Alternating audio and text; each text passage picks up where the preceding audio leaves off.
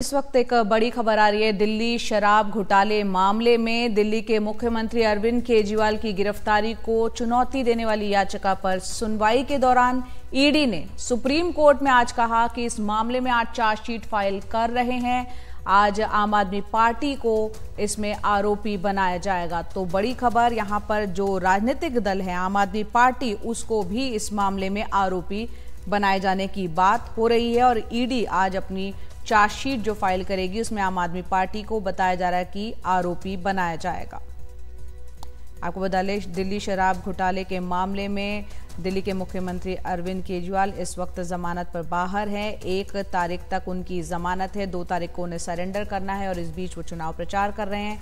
और अब खबर यह है कि उनकी गिरफ्तारी को चुनौती देने वाली याचिका पर सुनवाई के दौरान ईडी ने सुप्रीम कोर्ट ने आज चार्जशीट फ़ाइल करने जा रही है।